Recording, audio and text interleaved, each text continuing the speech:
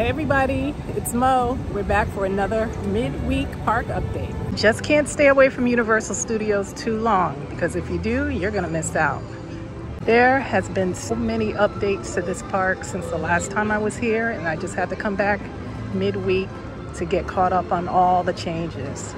Let's check out these ride times. Wow, Despicable Me Minion Mayhem only 20 minutes, ET's 15, We've got Transformers only 10. This is a really slow day, guys. Gringotts is only 25. King's Cross is 25. Really slow day. It's been a while since I've been here in the evening, so I'm kind of glad I got the chance to come out and see what's going on and the Universal Passholder Lounge is no more. It is now decked out for the new Tribute Store. And this is gonna be the first Tribute Store ever on Hollywood Boulevard. First thing I notice is that we have some signage up for this year's Mardi Gras and the theme is International Flavors of Carnival. And it looks like we've got Universal crews breaking down the stage that was all set up for this past weekend's Rock the Universe events. I did not attend. I don't know anyone who attended. So if any of you guys attended, let me know how it was. But I hear that it was really successful. And just across from Transformers, it looks like we have some Mardi Gras themed scaffolding with uh, the lighting all rigged up to it. I'm pretty sure this is lighting intended for the parade that will be coming through the area. We have some freshly painted graphics on the two food booths located just in front of the Transformers extended queue.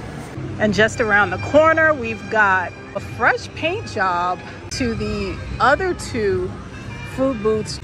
Everything is looking really festive too. And just at the entrance of Gramercy Park, it looks like we have some Cajun, New Orleans, Mardi Gras themed props set up. And right on the corner, it looks like we have a food truck here that will be themed for Canada. Let's see if there's any uh, menus or signage. Nothing yet. With the carnival theme this year for Mardi Gras, I am super excited about all the food, but particularly the Caribbean food. If you remember from my last video, I mentioned that that I hoped that a Caribbean themed uh, food booth would be here, and it looks like we're gonna get just that. So this red one that we saw last week is definitely going to be themed for Puerto Rico. Super excited for this one. Here we are in Old New York and it looks like down Delancey Street we are going to have a Japan themed food area. I've been hearing that there's some sort of specialty ice cream, a bubble ice cream. I'm not sure what that is, but that's supposed to be on the menu this year again. And a lot of people are excited about that. So I'm looking forward to seeing what that's all about. We have our first dedicated alcoholic beverage booth. This one is called Bloody Marys. When Universal said they were taking inspiration from carnival celebrations all around the world, they were not playing around.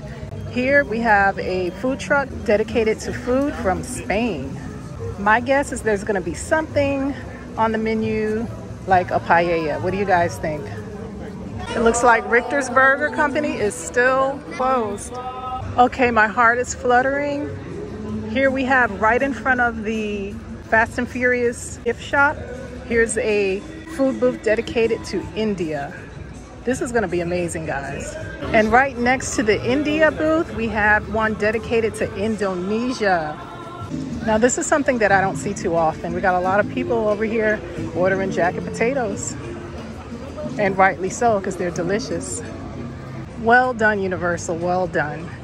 Here on the bridge, just between London and Springfield, we have a food tent dedicated to Belgium. And right across the way, we have one for Germany. And located just in front of the old Fear Factor attraction, we have one food tent, but clearly two different facades. One is marked Denmark, the other one is unmarked. I think this particular area is gonna be pretty busy only because traditionally every Mardi Gras, this is probably one of the busiest areas for food. And with Belgium, Denmark, and Germany here, I don't think it's gonna be any different this year. I think some serious refurb is going on at Krustyland. Did you notice that the ride vehicle is missing from the sign? And just outside of Springfield, we have another food truck set up, but no signage, nothing indicating what type of food or drink will be served here. The last time we were here, this was just a plain, nondescript food tent. Now we have a completely and beautifully painted facade. Another one that I'm looking forward to this Mardi Gras. I'm not gonna lie, I'm expecting big things from the menu here at the Brazil food tent. So Universal, don't disappoint us, please. And behind these construction walls, we still have the old Kid Zone sign completely covered in tarp. No sign of any active construction going on. It's pretty quiet back there, so I guess things will resume tomorrow maybe. We'll see. Now what we can see is some pretty heavy machinery. They must be doing some heavy duty demolition back here. We've got some pretty steady traffic going to and from ET right now, but no obvious changes with the construction wall or anything. But that area is pretty tight, but people seem to be navigating it well. Megatron is out terrorizing humans as he usually does.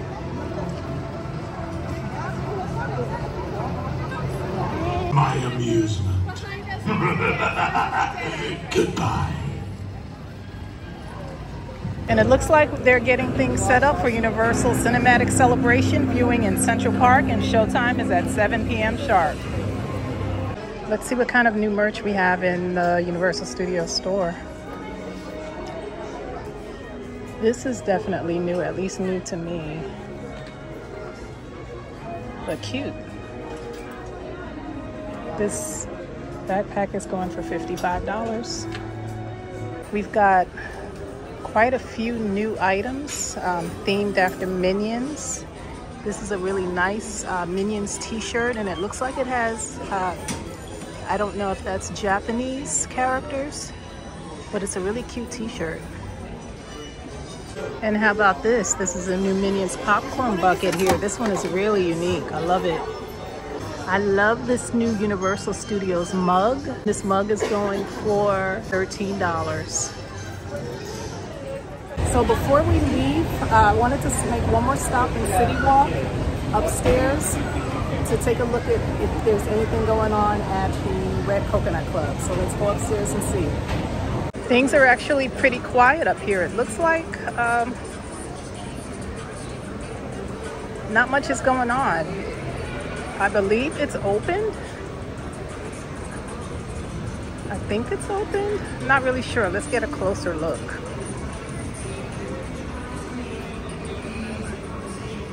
Uh, actually, no, don't think it's open. Yeah, it looks like it's closed, so there's really not much going on here.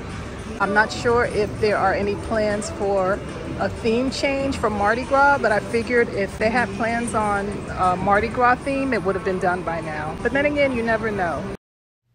About that brand new Universal Orlando Resort signage at City Walk. Look familiar?